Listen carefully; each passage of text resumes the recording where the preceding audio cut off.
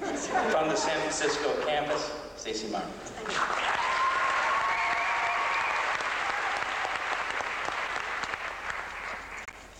I think that this has got to be the ultimate critique. Um, good afternoon uh, to my family. Surprise. It's, uh, it was really hard keeping this from you. It is truly an honor for me to be standing up here today. So here I am representing the School of Design and Architecture, which encompasses graphic design, illustration, industrial design, I feel strongly that a single person cannot fully represent such a diverse group of individuals, but I'm certainly going to try. It is the diversity of all the students and their disciplines which I feel is the key to a full educational experience.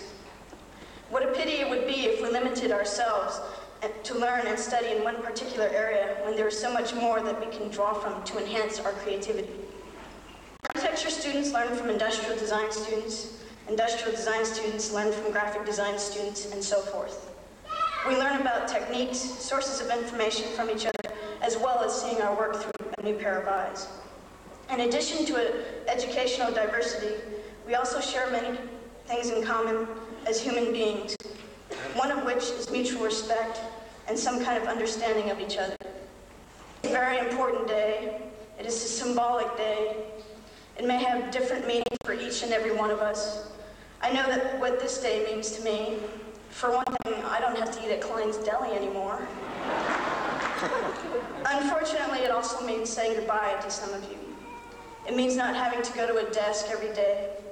It means, to an extent, a loss of security. It means I now must solely rely on myself to make my own design decisions. It means the end to a very wonderful stage in my life, but it also means I look forward to hopefully a new beginning, wonderful new beginning. Before I leave here today, there are a few individuals I'd like to thank. Thank you to my parents for enabling me this opportunity to go to college, particularly in this case, CCAC.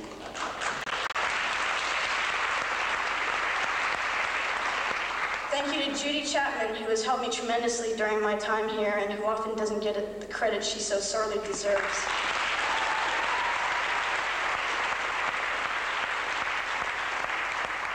Thank you to David Orgish for teaching me about commitment and friendship. And lastly, thank you to Melissa Pelham, who has taught me so much about life and the love of it. And to all of you, thank you for enriching my, my life. I will miss you all very much, and I wish you the best. Thank you.